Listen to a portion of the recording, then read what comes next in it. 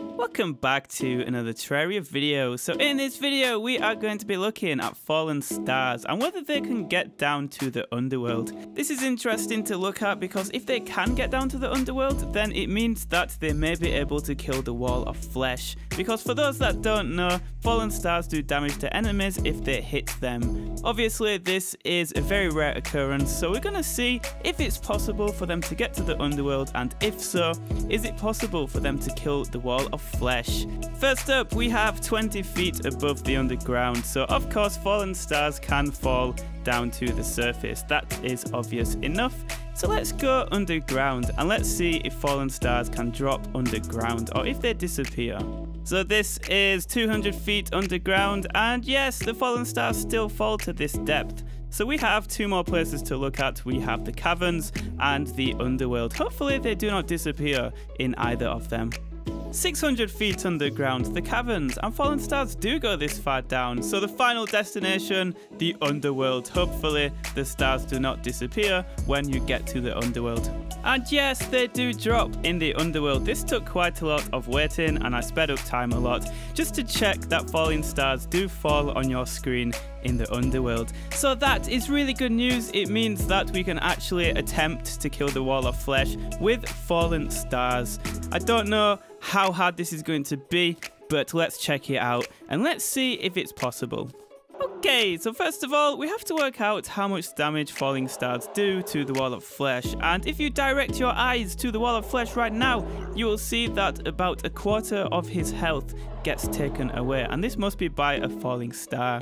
So by that logic, Mr. Wall of Flesh here has to be hit four times in a single night by a falling star to die. This is going to be really, really difficult because on a small world, only about 40 fallen stars fall in a single night. So if you think about the very small target that is the wall of flesh and it's constantly moving, 10% of all the falling stars in a night have to hit the wall of flesh. So is it possible? Yes, but the odds are going to be very, very low. It may take hundreds and hundreds of attempts before four falling stars attack it all in one night.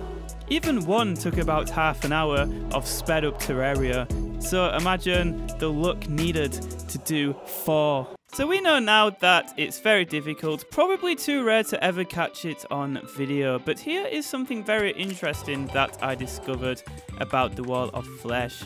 So the Wall of Flesh has three heads, and these three heads occupy themselves in the underworld where there's space. So because there's no space, because uh, in order for falling stars to fall down, the world has to be empty. The three eyes are very far spread out, which is very unusual. So there is the bottom head there. The middle one is like halfway up the world. And the top one is right at the top. Look at this. He's like up in the sky. Check that out. So that is why when some damage was taken off the wall of flesh, you didn't see a star fall because it must have hit one of these guys up here, maybe this guy. So when a falling star falls, there's three targets that it can hit. One at the top of the world, one in the middle of the world, and then one at the bottom of the world.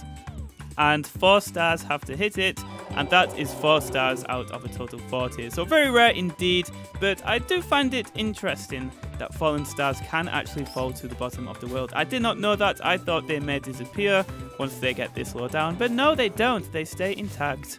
So yes, you can kill the wall of flesh with falling stars, but it is incredibly difficult. I shall see you guys later.